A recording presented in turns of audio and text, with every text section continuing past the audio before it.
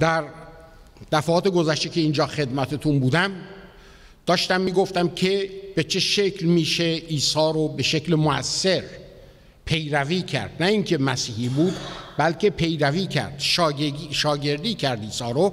و برای شما از رساله ابرانیان صحبت کردم که در اونجا میگه که مسیح برتر برتر از فرشتگان برتر از پیغمبران برتر از تمامی رسم رسوم های مذهبیه. و بعد برای شما از کولسیان صحبت کردم که پولس در اونجا میگه می‌دونید چیه؟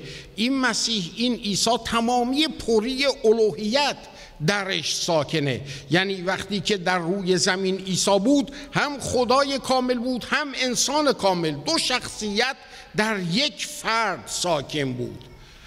و بعد برای شما از متا صحبت کردم دمدمای سال نو که در اونجا می‌بینیم که ما دعوت شدیم که در جشن شرکت کنیم در جشن پادشاهی که اومدن او قبلها در طول تاریخ از بدو تولد از بدو سقوط انسان همینطور پیشگویی شده که این نجات دهنده خواهد اومد و بزرگترین مشکل انسان رو که گناه برخواهد داشت. حالا در ادامه همون قضیه ما می‌رسیم به انجیل یوحنا و امسال هر وقت که در خدمتتون بودم مسافرت نبودم روی انجیل یوحنا ما متمرکز خواهیم شد و اونم علت داره. چرا که بهتون خواهم گفت؟ می‌رسیم به انجیل یوحنا که تمامی صحبت یوحنا در واقع این مطلبی هستش که مسیح داره اونجا میگه. مسیح خودش داره عنوان می‌کنه در انجیل یوحنا فصل 14 که اگر مرا میشناختید برای اینکه تمامی انجیل یوحنا در رابطه است با شناخت خدا. و خیلی جالبه که در همون فصل اول ما به این آیه برمیخوریم که میگه که خدا را هرگز کسی ندیده است. کسی خدا رو تا به حال ندیده و اضافه می‌کنه پسر یگانه که در آغوش پدره همان او رو به ما ظاهر کرد. در واقع وقتی به انجیل یوحنا نگاه می‌کنیم و به عیسایی که در انجیل یوحنا داره مطرح میشه می‌بینیم که اولین چیزی که ما در اونجا شاهدیم که تمام انجیل یوحنا بهش اختصاص داره اینه که به ما بگه که خدا کی هست. بنابراین بر اساس آنچه که یوحنا میگه اگر ما می‌خواهیم خدا را بشناسیم هیچ کس نمی‌تونه خدا رو به ما بشناسونه مگر عیسی مسیح. برای اینکه عیسی مسیح جذب شدنش تمامی آن معموریتی که داشت در انجیل یوحنا می‌بینیم همش داره خدا رو به ما میشناسونه. اگر مرا میشناختید. ادامه آیه میگه که پدر مرا نیز میشناختید و الان می‌شناسید. و الان دیگه به شاگردان میگه. که الان دیگه غریبه نیست براتون. الان می‌شناسید. چرا؟ برای اینکه منو می‌شناسید. بنابراین وقتی که صحبت از خداشناسی هست وقتی که ما داریم اینجا میگیم که ما امسال می‌خواهیم خدا رو عمیقتر بشناسیم در واقع آنچه که میگیم نوع درسته شناخته. نوع شناخت شناخت درست شناخت نظری نیست. این نیستش که ما صرفا بیایم اینجا و تعاریفی از خدا رو خدمت شما مطرح بکنیم. انسان خدا رو به این شکل نمی‌شناسه. چرا؟ برای اینکه ما انسان ها مکانیزم دیگری برای شناخت همدیگه داریم. ما هیچ وقت با تعریف کردن یک نفر دیگه اون طرف رو نمی‌شناسیم. اگر شما کلاس های خواهر معصومه رفته باشید حتما خواهر معصومه این مثال رو بهتون می‌زنه که دو تا دختر و پسر رو شما از طریق تعریفشون به همدیگه نمی‌تونید به همدیگه اونا رو بشناسونید. می‌تونید کنجکاوشون بکنید.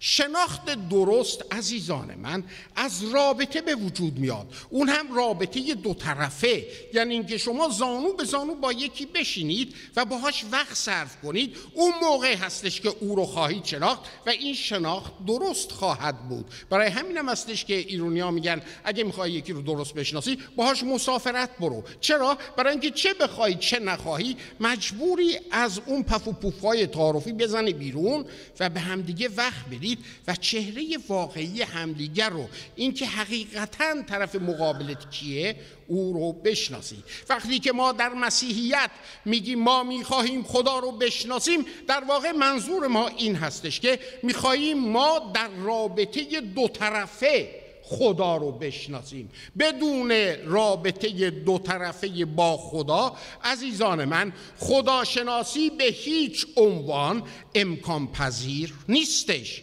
شما اگر برید و کتاب های به فیلسوفان اسلامی رو بهش نگاه کنید بیش از سی و دو شناخت نظری وجود داره. یعنی شناختی که شما از لحاظ فکری بهتون تعریف کرده میشه که خدا چجوریه و چون در انتها در رابطه دو طرفه نیست برمیگردم میگن خدا غیر قابل شناخته اصلا. تمام این حرفایی که ما بهتون گفتیم شنگول منگوله برای اینکه خدا غیر قابل شناخته. چرا خدا غیر قابل شناخته؟ برای اینکه انسان باهاش در اون فلسفه و دین نمی‌تونه باش در رابطه دو طرفه باشه. بنابراین برای انسان هیچ راهی وجود نداره خدا رو بشناسه مگر اینکه با خدا در رابطه دو طرفه باشه. و آنچه که مسیح داره به شاگردان میگه میگه اگر مرا میشناختی در انجیل یوحنا فصل 14 آیه 7 اگر منو میشناختید خدا رو هم پدر رو هم میشناختید. و الان می‌شناسید. چرا؟ برای اینکه منو می‌شناسید. چجوری منو می‌شناسید؟ برای اینکه سه ساله با همدیگه در رابطه دو طرفه قرار داریم. برای همینم خدا دیگه برای شما یک چیز غریبه نیست. باهاش نشست و برخواست می‌کنید. پس وقتی که ما میگیم می‌خوایم خدا رو امسال عمیقتر بشناسیم در واقع می‌خوایم اینو بگیم. ما در سال گذشته با خدا در رابطه دو طرفه بودیم. امسال می‌خواهیم رابطهمون رو بیشتر کنیم عمیقتر کنیم. یه رابطه چجوری عمیقتر میشه؟ چجوری رابطاتون عمیقتر میشه؟ به رابطه بیشتر سرمایه گذاری کنید. وقت بیشتر به هم دیگه بدید. پس امسال اگر حقیقتا می‌خواهیم خدا رو بشناسیم این نیستش که بیایید اینجا و روز یک شنبه ماهی برای شما از خدا یک سری چیزها مطلب بهتون بگیم. نه تمامی اون مطلب باید به شما کمک کنه که بتونید رابطه دو طرفه خودتون رو با خدا عمیقتر و عمیقتر و عمیقتر کنید. یعنی هر روز بیشتر به خدا وقت بدید هر روز بیشتر به کلامش وقت بدید هر روز منتظر باشید که از خدا پیام بگیرید. چرا؟ برای اینکه رابطه رابطه دو طرف است. تمام منظور یوحنا اینه. و از این به بعد بر اون اساسی که مسیح داره خدا رو معرفی می‌کنه خداشناسی ما لاقل تا اونجا که من مربوطه اینجوری جلو خواهیم رفت و نگاه کنید ببینید که یوحنا چجوری شروع می‌کنه انجیلشو. وقتی که انجیل یوحنا رو نگاه می‌کنید میگه در ابتدا و به محض اینکه لغت در ابتدا از دهن یوحنا خارج میشه آنن ما یاد چه چیزی میفتیم بهشت؟ پیدایش. چرا؟ برای اینکه اولین آیه کتاب مقدسینه در ابتدا در ازل. زمانی که اصلا زمان وجود نداشت زمانی که اصلا نقطه شروعی وجود نداشت و ما اسمشو می‌ذاریم در ازل. ازل یعنی چیزی که هیچ نقطه شروعی نداره. و می‌بینیم که یوحنا انجیل خودش رو با مایه گرفتن از اون فصل اول پیدایش می‌گیره. چرا؟ برای اینکه فصل اول پیدایش ممکنه که خیلی فشرده باشه ولی خیلی عالی. در مورد خدا مطالبی رو به ما میگه که ما بتونیم از طریق دانستن این مطالب خودمون رو به شناخت خدایی نزدیک کنیم که تمام دنیا میگه که او رو نمیشه شناخت. وقتی که میگه که در ابتدا در ازل میگه که در ازل خدا الوهیم و بعد میگه که خدا همه چیز رو آفرید آسمان ها و زمین رو آفرید. صحبت از ازلی بودن خدا می‌کنه صحبت از الوهیم بودن خدا می‌کنه صحبت از خالق بودن خدا می‌کنه و میگه روح روح خدا. هنوز آیه دوم تازه داره شروع میشه. ما ببینیم حتی خدا روحه و روح خدا روی سطح آبها حرکت می‌کرد. و بعد می‌بینیم که این خدا برمیگرده میگه که چی؟ و خدا گفت و شد. خدا گفت و شد. در یک جمله تمامی تاریخ تفکر انسان رو داره خلاصه می‌کنه. آنچه که بعد از این همه کشفیات علمی انسان بهش رسیده که بیگ بنگ رو شروع کرده و داره مطرح می‌کنه که بله ما الان می‌دونیم که دنیا تمامی این عالم با یک انفجار بزرگ آنی شروع شده. کتاب مقدس در اون موقع با دو جمله قضیه رو خلاصه کرده و خدا گفت شد بوم! انفجار آنی و همینجور داره میره جلو. می‌بینید که هرچی انسان علمش بیشتر میشه تازه به آنچه که خداشناسی کتاب مقدس داره مطرح می‌کنه بهش بیشتر نزدیک میشه. و بعد جلوتر می‌بینیم در همون فصل اول می‌بینیم که در فصل اول میگه که و خدا دید و گفت به به چقدر عالیه. می‌بینیم که خدا داره مقایسه می‌کنه. خدا قبل از اینکه همه اینها رو بیافرینه نشسته نقشهش رو چیده و الان نقشه رو با آنچه که عملی شده می‌بینه برمیگرده میگه عالیه خوبه مهر استاندار می‌زنه. یعنی اینکه خدا فکر داره روح داره. و خدا اراده داره. و وقتی که یک چنین چیزی رو پیدایش داره مطرح می‌کنه داره مطرح می‌کنه خدا شخصیتمنده. برای اینکه این تعریف یه شخصه بر اساس حتی کلاسیک در این تعریف شخص کسی هستش که فکر داره شعور داره اراده داره. و اینجا ما با خدای شخصیتمند روبرو هستیم. و خدای شخصیتمند می‌بینیم که داره با فکر و شعور و اراده دست به چی می‌زنه؟ خلقت می‌زنه. ولی خب شخصیتمندی مستلزم یک سری چیزها هست. اولین چیزی که شخصیتمندی احتیاج داره اینه که باید این شخص در رابطه باشه. در رابطه نباشه شخصیتمندی بیمعنیه. و چقدر عالیه که جلوتر که میریم می‌بینیم این خداهای الوهیم داره با خودش حرف می‌زنه. برمیگرده میگه که بیایید انسان را موافق و شبیه خودمون بسازیم و می‌بینیم آها جوره. این خدای واحد الان در وجود خودش انگاری که بیش از یک شخصه. شخصیتمنده ولی بیش از یک شخص داره با وجود خودش صحبت می‌کنه. ما در همون فصل اول پیدایش با خدایی روبرو هستیم که ازلیه با خدای الوهیم روبرو هستیم با خدای خالق با خدای روح با خدای شخصیتمند که در وجود ذات واحد خودش باید بیش از یک شخص باشه. ببینید این منافات نداره با وحدانیت خدا. خدا در ذات واحده. من و پدر یک هستیم مسیح میگه. ولی از نظر شخصیت می‌تونه شخصیت های مختلف باشه و در همون فصل اول پیدایش می‌بینیم که بیش از یک شخص در وجود خدای واحد هست. حالا یوحنا همون رو مایه گرفته. در ابتدا کلمه بود کلمه نزد خدا بود و کلمه خدا بود. یوحنا تمامی انجیل خودش رو روی این گذاشته. خدا کیه؟ چجوری می‌تونین این خدا رو بشناسید؟ و شناخت این خدا در زندگی شما چی کار می‌تونه بکنه؟ حالا خدا کیه؟ در ابتدا کلمه بود یوحنا عزیزان ببینید در چه زمانی داره انجیل خودش رو می زمانی که انگار زمان زمان ماست از یک طرف فلسفه وجود داره از یک طرف مذهب وجود داره از یک طرف دیگه عرفان وجود داره فلسفه داره مطرح می‌کنه که می‌دونید چیه؟ در ورای این دنیای مادی خرد وجود داره عقل وجود داره و اونه که دنیا رو داره میچرخونه در واقع اگر دنبال خدا میگردی اون خرد خداست. در عین حال ما مذهب رو داریم. که مذهب یهود مذهب غالبشه و اون مذهب یهود واقعا میگه که خدایی وجود داره و وقتی میگه خدا گفت بشه شد پس اون گفته خدا هم از خود خدا جدا نیستش. و ما یک عرفان هم داریم که برمیگرده میگه که می‌دونید چیه؟ آقا خدا نیست ولی اگر هم باشه شناختش خیلی سخته ولی برای شما مژده دارم. من می‌تونم از طریقایی که خودم بلدم دست شما رو بذارم تو دسته خدا. فقط اون راهو من بلدم.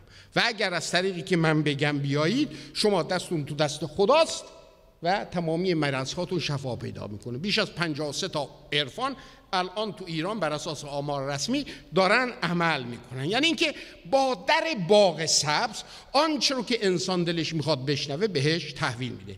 دقیقا دنیای امروز و دنیای اون موقع همینجوری بود. و یوحنا میاد چقدر عالی لغتی انتخاب می‌کنه که برای همه اینها چی هستش؟ معنی داره. لوگوس در زبان یونانی برای کلمه لغت های دیگر وجود داره. ولی لوگوس کلمه ایه که فلسفه به عنوان خدا اونو می‌شناسه مذهب اونو به عنوان اون گفته خدا که گفت بشود و شد می‌شناسه.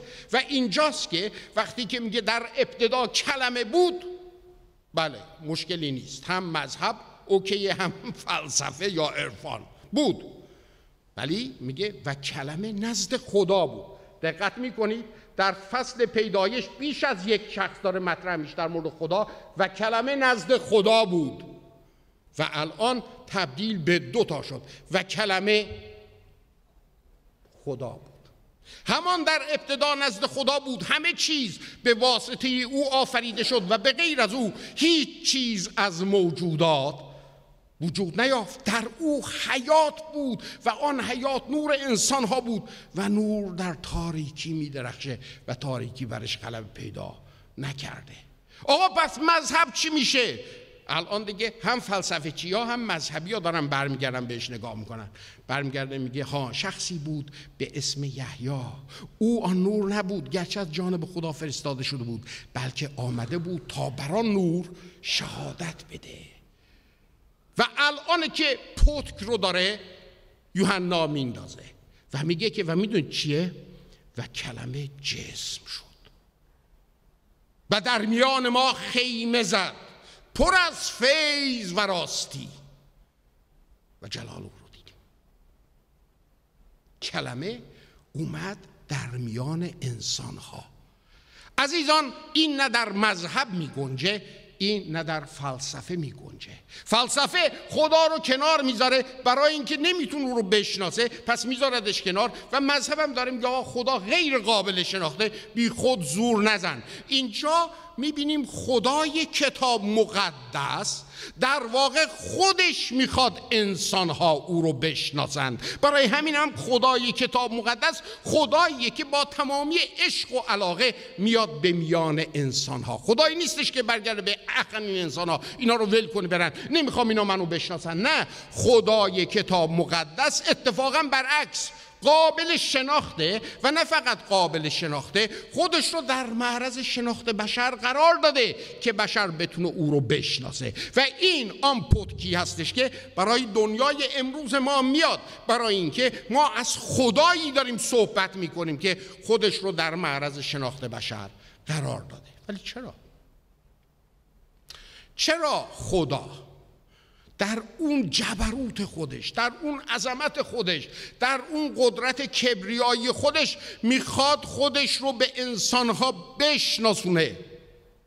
مگه چه اشکالی داره که یه سری فرمان به ما بده و ما دلار راست بشیم یه سری شم و فلان و کلیسا و بم و بوم و رسم و رسوم نمی‌دونم مکه و اورشلیم و این ور بریم هی مراسم مذهبی انجام بدیم؟ چه اشکالی داره اطاعت کنیم؟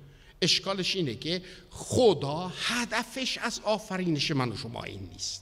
تمامی آن قصه هایی که به خورد ما میدن این قصه ها قصه های مذهبی درست نیست افسانه ساخته و بافته فکرهای انسان هاست به نوعی مذهب ساخته فکر انسان هاست آنچه که خدا داره در کلامش با ما در میون می‌ذاره اینه که من می‌خوام شما منو بشناسید.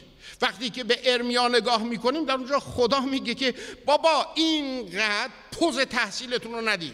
اینقدر پوز حکمتتون رو ندید. اینقدر پوز ثروت و داراییتون رو ندید. اگه می‌خواید به چیزی فخر بکنید به این فخر بکنید که منو می‌شناسید.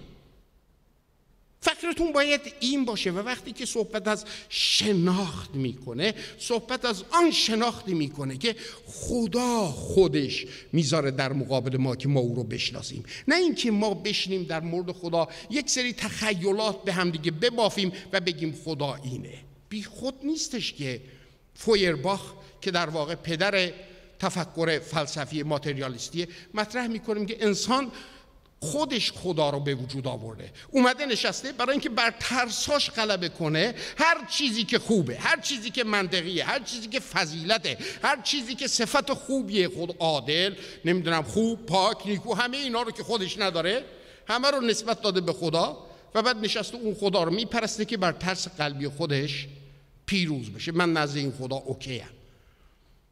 ولی یادش میره فویرباخ بگه که اون چیزی رو که آگوستین گفت که بعد از سقوط یک خلایی به بزرگی خدا در وجود انسان به وجود اومده و منشأ تمامی این ترسا اون هست و آگوستین میگه که این خلع پر نخواهد شد مگر با حضور خود خدا.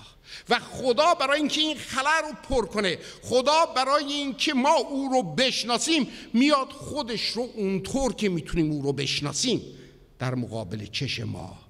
قرار میده. خدا می‌خواد ما او رو بشناسیم. چرا؟ برای اینکه خدا دنبال مراسم مذهبی نیست. خدا دنبال اینکه من دلار راست بشم به خدا بگم سرت مثل سر شیره نیست. خدا دنبال رابطه که براش محبت حاکمه. شما تا کسی رو نشناسید نمی‌تونید او رو دوستش داشته باشید. یا نمی‌تونید ازش متنفر بشید. نیست؟ اونایی که ازدواج کردن به زندگیشون نگاه کنن روز اولی که عاشق شدید الان چی؟ کوروش نقد حرف فرات در میارن اون موقع ممکنه که اوه چشات بگن آره همه چیز دیگه اوکی فلانه. الان میگید کاش چشم کور شده بود نیده بودن یا نه؟ اون موقع دیدید الان میگید پسر عجب چیزی تو زندگی من اتفاق افتاد. بهترین چیزی بود که در زندگی من. چرا؟ برای اینکه این حرفا رو می‌زنید برای اینکه در اثر چی؟ رابطه دو طرفه همدیگر رو بهتر شناختید. شناخت یا محبت ایجاد می‌کنه یا نفرت. و خدا اینو می‌دونه چون خودش ما رو آفریده. برای همینم خدا میگه که من که از شما می‌خوام منو با تمامی قلب و جان و روح و قوت دوست داشته باشید شما برای اینکه بتونید این کار رو بکنید لازم دارید منو بشناسید. و شما نمی‌تونید منو بشناسید اگر من خودم رو در معرض شناخت شما قرار ندم. اگر من پرده از خودم نکشم که شما چی؟ منو بشناسید. برای اینه که چون خدا از من و شما رابطه ای رو میطلبه که در اون رابطه دو طرفه می‌دونه که اگر باشیم خواهیم دید او چقدر نیکوست. خواهیم دید او چقدر عالیه. خواهیم دید او چگونه پدری هستش و یک دل نصد دل عاشقش خواهیم شد. خدا می‌خواد ما او رو بشناسیم. و برای اینکه ما او رو بشناسیم خدا دیگه همه قدم ها رو رفته. در ابرانیا میگه که در زمانهای گذشته خدا که از طریق فرشتگان کلام اله پیغمبر و امام و اینا همش خودشو به ما میشناسون. در زمان آخر توسط عیسی مسیح کلمه ای که جسم شد. میگه که کلم کلمه جشم شد و در میان ما خیمه زد. لغتی که یوحنا داره به کار می‌بره اینجا که در میان ما ساکن شد در واقع میگه در میان ما خیمه زد. و این لغت خیمه ما رو یاد چی میندازه؟ بگید دیگه. یه اینجوری می‌کنن همون دیگه. عهد عتیق. در عهد عتیق وقتی که اینا تو بیابون بودن خدا گفته بود که می‌دونید چیه؟ خیمه رو درست می‌کنید و تمامی اون مشخصاتش داره و گفته بود وقتی که همه چیز رو اونطور که من گفتم شما انجام دادید اون موقع من میام و در اون خیمه ساکن میشم. و اینطور هم بود. موندا خیمه طوری بود که در مرکز اردوگاه قرار داشت. یعنی به این شکل. چادرها رو خدا جوری گفت بچینن که هر کس که از در چادرش بیرون میومد اولین چیزی که می‌دید خیمه خدا بود. و اینکه در شب ستون آتش و در روز مه در بالای و ابر اون جلالی بود که چی می‌شد؟ در اونجا دیده می‌شد. و حالا اینجا حضور خدا می‌بینیم که اومده و حضور خدا کلمه جسم گردید لوگوس جسم کرد ما که حالا فکر می‌کردیم که خدا رو نمیشنا تو داریم که لوگوس به دنیای مادی اومد. برای اینکه فلسفه چیا می‌گفتن؟ آقا این دنیا ماده اخه. عالم روحانی خیلی بالاست. خیلی از مسیحیان الانم در این دوگانگی تفکر افتادن. فکر می‌کنن که دنیا این همش پست فلان بهمان عالم روحانی بالاست. نه. تمامی این دنیا در اون تمامیت خودش وقتی که ما آفریده خدا هستش. و می‌بینیم که اینجا اینا یه شک ورشون میداره. یعنی خدای قدوس خدای عالی میاد جنس میشه خودشو پست می‌کنه این امکان نداره. چرا؟ نزد خدا هیچ چیز محال نیست. خدا اراده کرده که ما او رو بشناسیم. بنابراین خدا به تاریخ خودش پا می‌ذاره. خدا در عیسی مسیح میاد. مثل ما میشه که ما بتونیم وقتی که به او نگاه می‌کنیم او رو بشناسیم. خیلی جالبه. در ابرانیان یه آیه هستش که اغلب بهش بیدقتی میشه. می‌دونید در قیمه اجتماع اگر یادتون باشه قیمه اجتماع یادتون دیده بودید یا نیده بودید در قیمه اجتماع که ساخته شده بود در همون معبد بود دو قسمت بود. یک قسمتش قدس بود یک قسمتش قدس الاقداس. این کاهنان تو قدس اونم زمانی که پاک بودن از از مذهب پاک طهارت داشتن اینها هر کاری می‌کردن قربانی و فلان اینا. ولی وارد قدس الاقداس نمی‌تونستن بشن. قدس الاقداس جایی بود که خدا درش ساکن بود. و می‌دونستن که هیچ کس نمی‌تونه به اونجا نزدیک بشه. فقط کاهن اعظم سالی یک بار در روز کفاره بعد از انجام تمامی اونها می‌تونست وارد حضور خدا بشه قربانی رو بگذرونه که کفاره بود برای یک سال برای اینکه غضب خدا بر گناهان قوم افروخته نشه.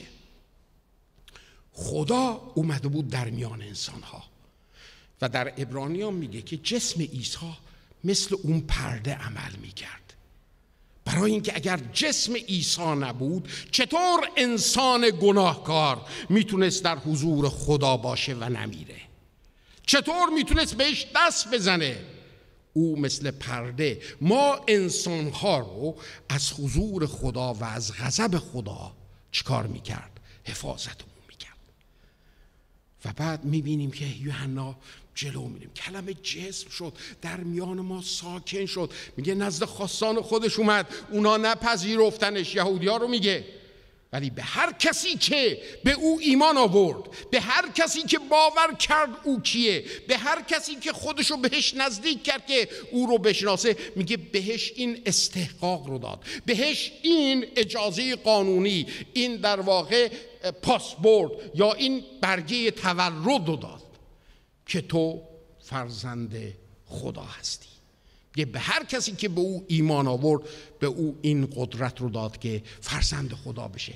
نه فرزندی از طریق جسم که کسی با مادر کسی ازدواج کنه فرزند به دنیا بیاد نه این که من دلم می‌خواد فرزند داشته باشم فرزندم نمیشه برم از دولت یا از یتیم خونه یه بچه ای رو بردارم. نه از این طریق نه. میگه آنها از خدا تولد یافتند. یک تولدی عالی بالا. تولدی همانند آن چیزی که خدا در نظرش بود زمانی که آدم هوا آفریده شده بود. و بعد یوحنا می‌رسه به این هیچ کس خدا را هرگز ندیده است. پسر یگانه ای که در آغوش پدر است همان او را ظاهر کرد. شریعت به واسطه موسی آمد ولی فیض و راستی فیض و حقیقت توسط پسر یگانه عیسی مسیح. اگر نگاه کنید می‌بینید که یوحنا مثل اناجیل دیگه نمیاد از تولد عیسی مسیح شروع کنه از مجوسیان صحبت کنه. نه یوحنا از همون اول می‌خواد بگه این عیسی کیه و می‌خواد بگه که این عیسی مأموریتش چیه. عیسی اومده که ما او رو ببینیم کیه نزدیک بشیم بهش او رو بشناسیم. و از طریق شناخت عیسی و شناختی که عیسی به ما میده خدا رو بشناسیم. چه نوع شناختی؟ شناختی که در رابطه دو طرف است. خیلی جالبه. شما اگر انجیل فصل اول رو در انجیل یوحنا جلو برید می‌بینید اینا همش مقدمه است. یهو یحیی مطرح میشه. یحیی کیه؟ میان نزدش. تو مسیح هستی؟ نه خیر نیستم. ایلیا هستی؟ نه خیر نیستم. آن پیغمبر هستی؟ نه خیر نیستم. پس کی هستی؟ صدای ندا کننده در بیابان. پیشگویی اشعای نبی و بعد میریم جلو شاگردان رو می‌بینیم. دو نفر از شاگردان یحیی دنبالش میان برمیگردن. یه شب باش میمونن برمیگردن. یکی میره اون داداشش رو پیدا می‌کنه. میگه میدون چیه؟ شمون ما مسیح رو پیدا کردیم. اون یکی میره رفیقش رو پیدا می‌کنه. نتانایل ما مسیح رو پیدا کردیم. او نتانایل خیلی آدم مذهبیه. نگاه می‌کنه میگه مگه از ناصره هم چیز خوبی در میاد؟ میگه خب بیا خودت ببین. یعنی کاراترین بشارتی که شما می‌تونید بدید. بیا و خودت ببینید چقدر عالیه. می‌خوای خود و مسیح رو بشناسی؟ اینجا وای نزد من چیزی به تو ثابت کنم. بیا خودش خودت باش همدم شو. اونم بلند میشه میاد و خیلی جالب. مسیح که از او رو از دور می‌بینه بهش میگه تو اون اسرائیلی درست هستی. تو اون اسرائیلی صادقی صادق هستی. یا فکر می‌کنه که این داره زیر بغلش میده که مثلا خودشو گنده جلوه بده. میگه تو من از کجا می‌شناسی؟ مسیح برمیگرده میگه برای اینکه وقتی که زیر درخت انجیر بودی با تو بودم.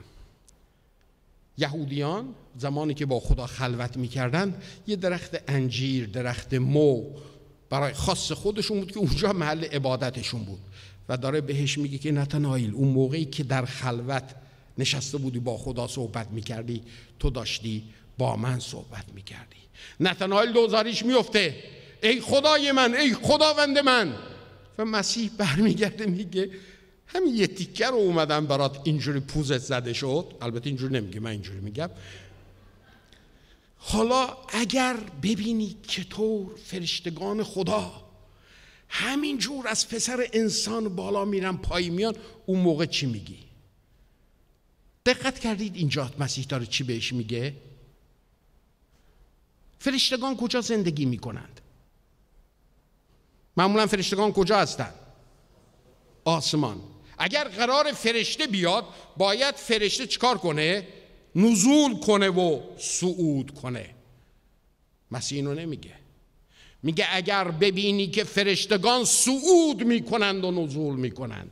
مسیح داره در واقع اینو میگه. مقر فرماندهی خدا از آسمان الان دیگه تو زمینه. الان دیگه مقر فرماندهی تو زمین ساکنه. و چون من الان اینجا هستم از این به بعد شما خواهید دید که فرشتگان دارن صعود می‌کنند و نزول می‌کنند. و این مقدمه ای هستش که یوحنا داره برای خداشناسی میاره. یوحنا داره از خدایی صحبت می‌کنه که خودش رو در معرض شناخت بشر قرار داده. یوحنا داره از خدایی صحبت می‌کنه که می‌خواد بشر او رو بشناسه. از خدایی داره صحبت می‌کنه که با اینکه در ذات خودش واحد هستش ولی این ذات واحدش بیش از یک شخصیته.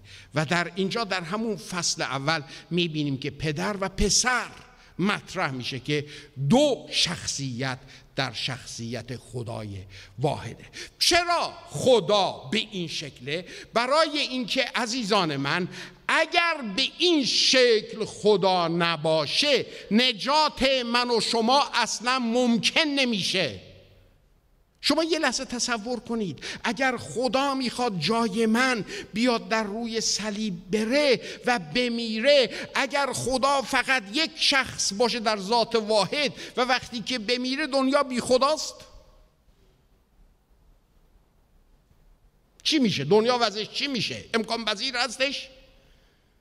خدا عزیزان من هر جوریشو بگیری برای اینکه من و شما بتونیم نجات پیدا کنیم ماهیتی به غیر از این نمی‌تونه داشته باشه. بنابراین یوحنا داره بنیاد خداشناسی خودش رو روی تسلیس داره قرار میده.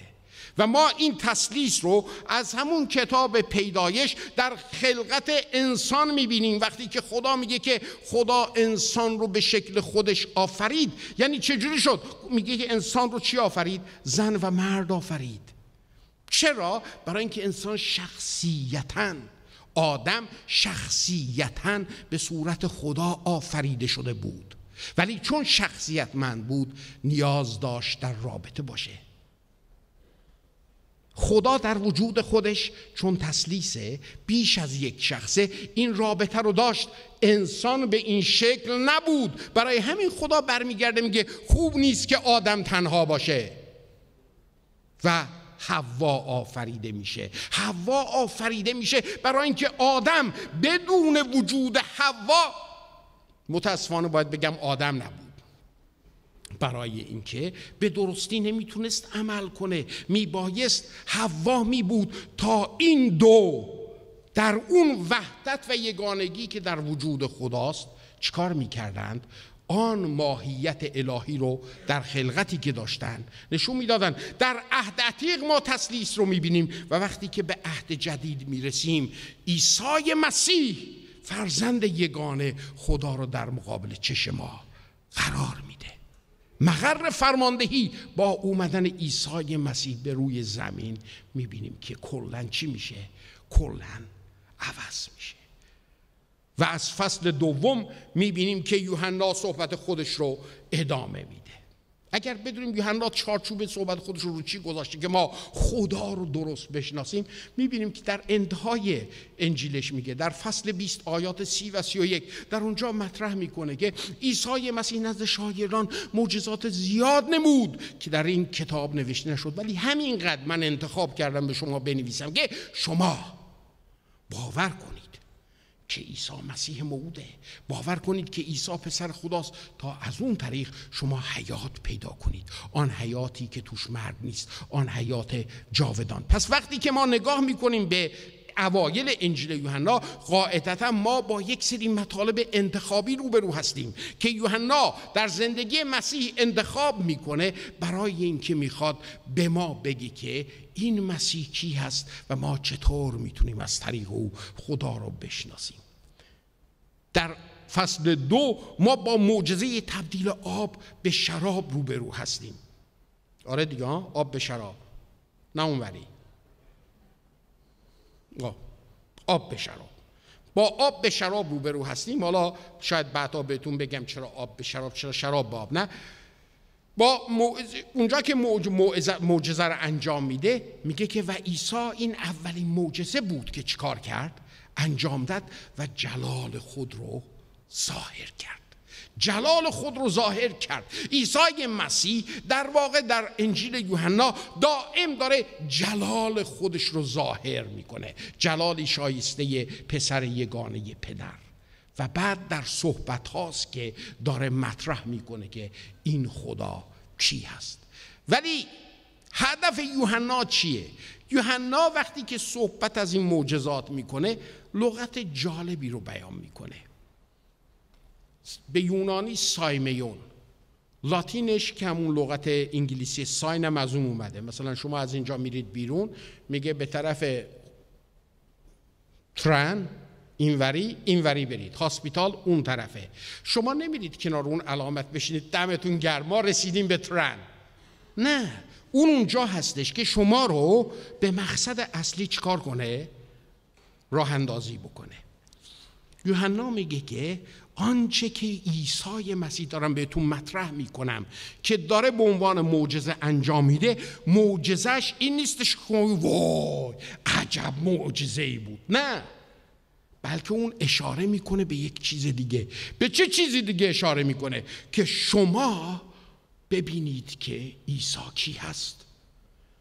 برای اینکه اگر مرا میشناختید پدر رو هم میشناختید. به این که شما چکار بکنید؟ شما با این عیسی در رابطه عمیقتر به سر ببرید. رابطه دو طرفه عمیقتر به سر ببرید. شما چطور می‌تونید یه چیزی رو باور کنید؟ با حلوا حلوا گفتن که دهن شیرین نمیشه. همیشه میگیم نیست؟ آقا این خوشمزه است بخور.